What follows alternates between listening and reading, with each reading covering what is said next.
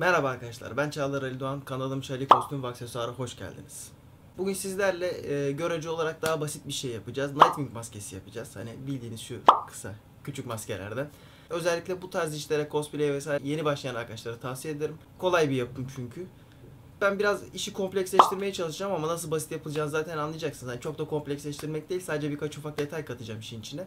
E, yapıp yapmamak size kalmış. O malzemelere ulaşıp ulaşamadığınıza bağlı olarak yapabilirsiniz veya yapmayabilirsiniz. Öncelikle bakalım Nightwing'in maskesi neye benziyormuş.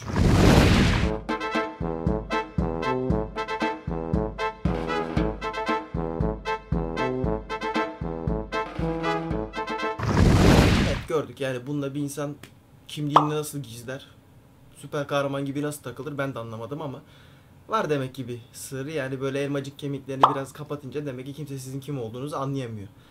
Ee, Superman'in bir gözlük takıp saçını farklı tarayarak kendini sakladığı bir dünyada sanırsam Nightwing'in de bunu yaparak kendini saklaması çok absürt olmasa gerek. Neyse bu bizi ilgilendiren kısmı değil. Sevdiğimiz karakterler, sevdiğimiz hikayeler. Biz şimdi geçelim maskeyi yapalım. Evet işe şablonlarımızın çıktısını aldıktan sonra e, kesip fomun üzerine yerleştirmekle başlıyoruz. Bunda küçük bir fon parçası yetecektir. Çok fazlasına ihtiyacınız olmayacaktır. E, bu yapımın en güzel yanı o. Yalnız dikkat edin çizerken bu şekli korumaya çalışın. Şablondaki şekli böylece hangi parça nereye geliyor karıştırmazsınız. Çok küçük parçalardan oluşuyor çünkü. Ben olabildiğince onu korumaya çalıştım ama ara ara sığmadığı için yerlerini değiştirmek zorunda kaldım ama gördüğünüz gibi işiniz bittiğinde bu şekilde bir elinizde şablonlardan oluşan fon parçası olacak. Daha sonra keskin bıçaklar işinize yarayacaktır. Ee, az da olsa açılı kesimler var. Açılı kesimler için böyle bir şablon hazırladım. Kırmızı bölümler olan yerleri 45 derecelik iç açıyla, mavi bir tane var zaten orayı da 45 derece dış açıyla kesmeniz gerekiyor. Kesimleri yaparken de e, dikkatli olun. Yaptıkça yavaş yavaş böyle dizmeye başlayacaksınız gördüğünüz gibi. İki tarafı da bitirdiğinizde böyle olacak. Ee, ben yine kontak sement, kontak yapıştırıcı kullanıyorum yapıştırıcı olarak. Burası o 45 derece dış olan bölüm. Bunu yapıştırdığınızda gördüğünüz gibi bu şekil bir e, açıya sahip olacaksınız. Bu da e, maskenin ana şeklini oluşturacak. Daha sonra diğer parçaları yapıştırmaya devam ediyoruz. Birleşti bakın gözün biri ortaya çıktı. Kenarlarını yapıştırıyoruz aynı şekilde. Gösterdiğim açılarla keserseniz parçalar e, kendi şeklini doğru bir şekilde almaya başlayacaktır. E, en son ısıyla şekil verme işleminde çok fazla uğraşmanıza gerek kalmayacaktır. Yarısı yine burada bitti. Bu küçük parçaları ayrı yapıştırmanızı tavsiye ederim. Diğer ana parçayı yapıştırmaya kalkınca zorla, zor olabiliyor. O yüzden önce küçük parçaları kendi içinde yapıştırıp daha sonra ana parça eklerseniz maskenin yarısını neredeyse bitirmiş olursunuz. Daha sonra şu küçük eklentiyi yapıştırdınız mı iki parçayı birbirine yapıştırmak kalıyor geriye. Gördüğünüz gibi ana şekil bitti. Ortaya çıktı. Şimdi diğer kısımlarına geçelim. Biraz zımpara istiyor. Bunun için ben 80, 120 ve e, 320'lik 3 ayrı zımpara kullanıyorum. Sırasıyla gene 80, 120 ve 320 ile zımparalıyorum. 80 ile bittiğinde biraz böyle kabaca bir durumda kalacak.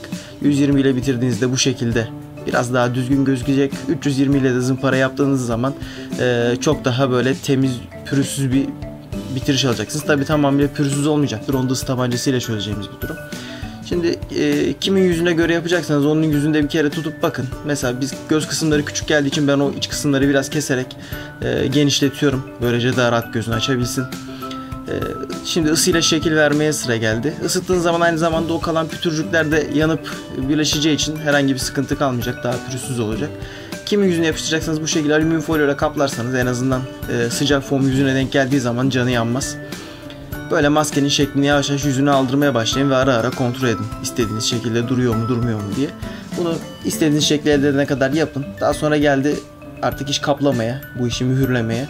Modpaç kullanıyorum ben yine 3 kat. 3 katın sonunda e, kurumaya bırakıyoruz. Arka tarafını ben sıvı latexle kaplayacağım. E, siyah boyayla da karıştırıyorum ama bu kısım tamamıyla opsiyonel. Yap yapmamak size kalmış. Ön tarafı değil dediğim gibi arka tarafını kaplıyorum. E, keza daha sonra bunu yüzümüze tutturmakta kullan, kullanacağımız bir işlem için önemli. Ama dediğim gibi opsiyonel bir yapmak zorunda değilsiniz. İki tane maskenin bandından şöyle küçük halkalar yapıp bir gazete parçasına tutturursanız da e, diğer kaplama işlemleri ve boyama işlemlerine devam edebilirsiniz. Ben plastik iple kaplıyorum ön yüzünü. Siyah plastik ip kullandım. 3 kat atıyorum.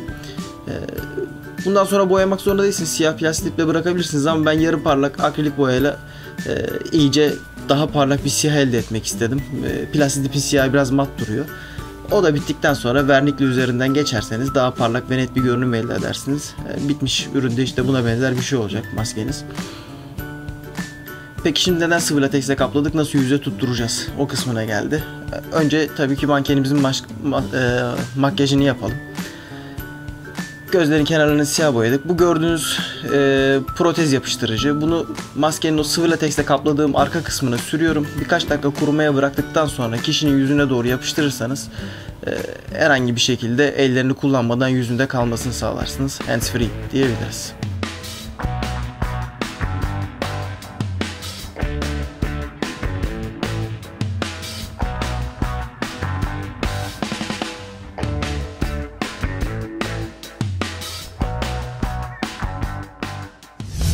Maskenin yapımı bitti. Ee, gördüğünüz üzere çok yani kompleks bir şekil değil. Sadece biraz küçük parçalardan oluşuyor. O yüzden hani yaparken sadece dikkat etmek lazım. Kaybolabiliyor parçalar. Benim yaptığım gibi eğer belli bir sıraya koyarak parçaları kesip e, dizerseniz yapıştırırken size kolaylık sağlar. Böylece kaybetmezsiniz. E, ısıyla yüze şekil verme olayı şart değil. Dediğim gibi ister yapın ister yapmayın. Size kalmış. Arkasını sıvı lateksle kaplamak eğer benim kullandığım ürünü kullanıp yüzünüze yapıştıracaksanız veyahut da başkasının yüzüne yapıştıracaksanız o zaman önem taşıyor. Diğer türlü arkasını herhangi bir şeyle kaplamasanız da sıkıntı değil. Ee, siz bu kenarlardan birer tane delik açıp herhangi bir ip, lastik vesaireyle de bağlayıp yüzünüze oturtabilirsiniz. O da bir seçenek. Yapmak zorunda değilsiniz dediğim gibi benim yaptığımı. Oldukça basit bir yapım. Ee, açılı kesimler için o hazırladığım şablonu videoda görmüşsünüzdür zaten. Onu da gene dosyayla birlikte e, aşağıda paylaşacağım. Oradan bakıp alabilirsiniz. Gene aynı şekilde o kesimleri de yaparsanız maske ana şeklini daha iyi koruyacaktır.